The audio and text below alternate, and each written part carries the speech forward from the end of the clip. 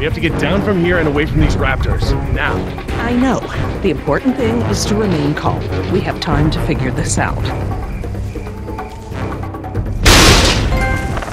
Man, they're raptors! Look! Gosh! They're trying to bring the tower down! It'll hold. It's got to. Yeah, well, I don't want to take any chances.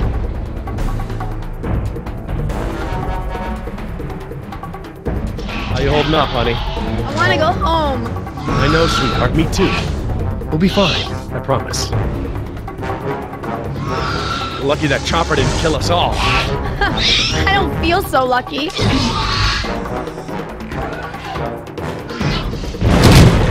We need to get off the tower before the raptors bring it down. The emergency ladder's right there. The way the tower is tilting, it will put us down outside the pattern. Well, that's a start. The fence isn't much of an obstacle for the raptors. Where do we go once we're out? I think we can make it to the utility tunnels right over there. We can lock the raptors out if we can beat them inside. I hope you're right. Let's get that ladder lowered.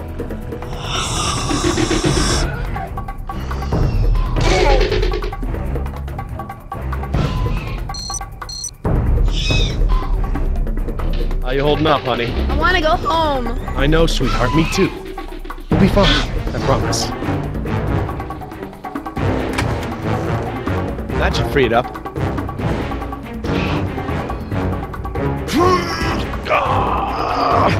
Won't budge. It's brand new, so it might still be a little stiff.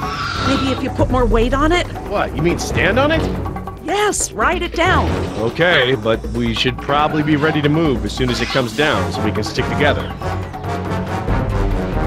Sweetheart, listen. I want you to be ready to climb down the ladder as soon as it's extended.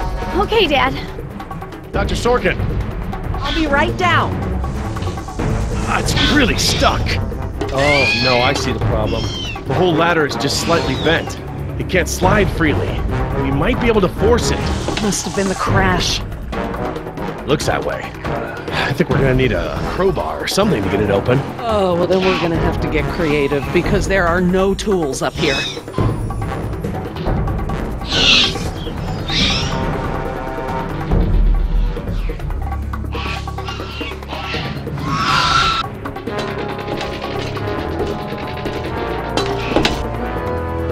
This antenna could be just the thing we need to pry the ladder open. But if I try to grab it now, I could get electrocuted.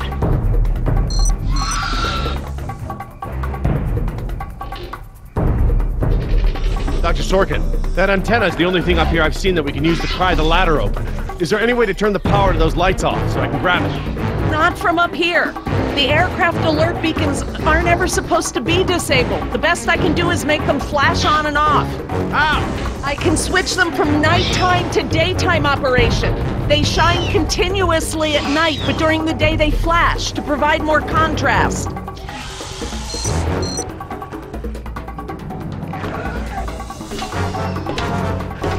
Okay,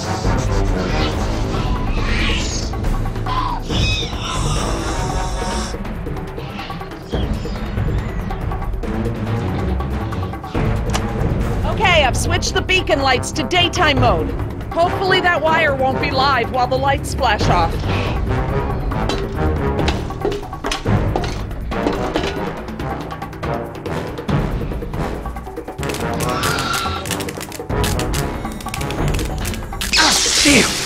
Jumped the gun a little.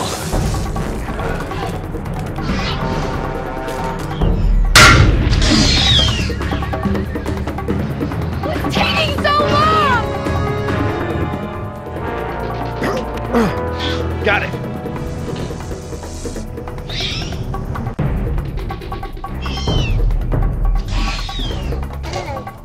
If I couldn't move it by jumping on it, I'm never going to be able to pry it by myself.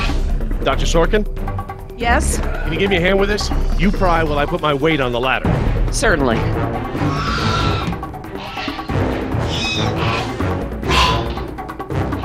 Okay, Dr. Sorkin, I'm ready. Jess, honey, you get ready to move as soon as the ladder goes down. I'm ready, Dad. Just hurry! Okay, Dr. Sorkin, on three. Ready? One, two, three!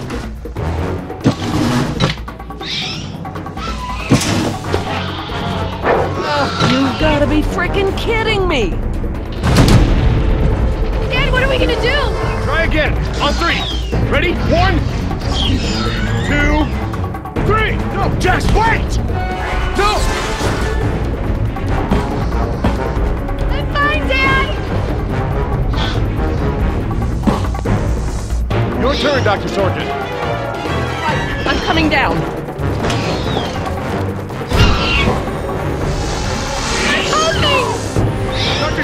You have to hurry. Out of the way! I'm gonna jump for it! Okay, now up and over. I'm okay. Run, Dr. Sorkin!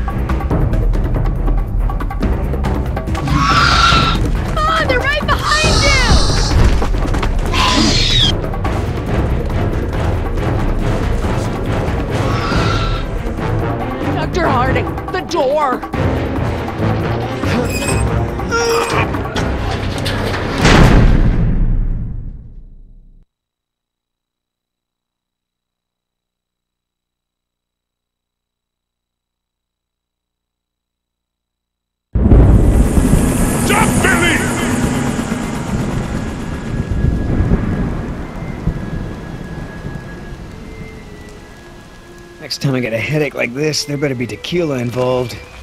No way, amigo. This turned out better than the last time you drank tequila. Yeah, you might be right. The girl I woke up next to is prettier anyway.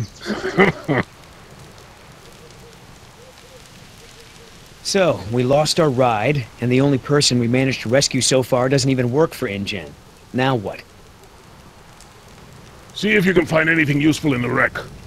And make sure the girl's okay while I scout the perimeter. Ah, damn it, I left my AK inside the chopper. It's probably toast. Glad I didn't leave a round chambered. Could have killed someone.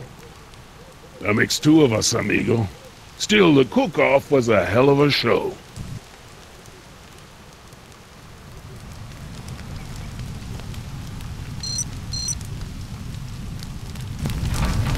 Gonna take more than an auxiliary power unit to fix her this time. Better keep checking her out. If she's gonna blow, we don't want to be anywhere nearby. Damn it, all our weapons were in there. I was just getting used to that AK, too. Looking pretty safe. One more look, just to be sure.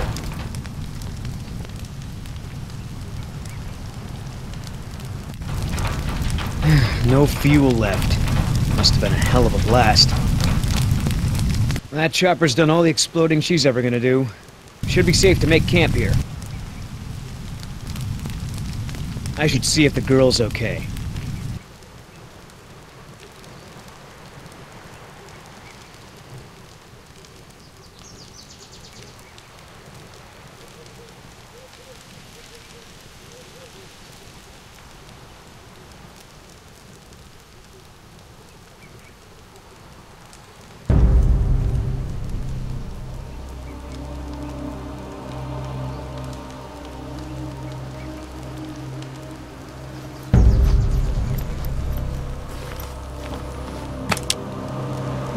Barbasol. I have a can just like this back in San Jose. Oh man. I hope it's not for her face. Heavier than I remember. Could just be full, I guess. It's only sloshing at the top. Sounds half empty, feels full. Why is that? My stepbrother used to store his second set of keys in a fake pop can. I wonder.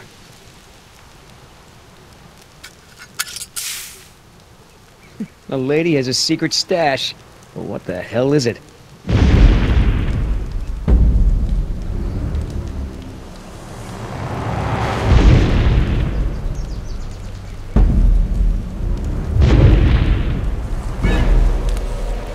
T-Rex, it's leaving. Damn it, Oscar. I only have one pair of pants. The chopper's not gonna blow, but just about everything in it, including our weapons, is flame broiled. No game trails, no nests. This is base camp for now. Hey, get this. I found this can of shaving cream in her pack. Didn't think you needed any. Yeah, whatever you say, Fuzzy. Except it's not really shaving cream. Look. Hmm. So, now what's the plan? That shaving cream can looks like some real CIA stuff. What do you think she's up to? Ask her when I ain't around. If she won't tell you, I'll make her talk my way. We gonna try to salvage this gig? Yeah. I'm gonna go look for our friends. Uh, shouldn't I come with? We lost the guns. Means I gotta be in stealth mode. you saying I can't sneak? I'm saying neither one of us can sneak and watch her at the same time. Besides, she won't talk with me around. But maybe pretty boy Billy can get her to open up. Yeah, it's a tough job.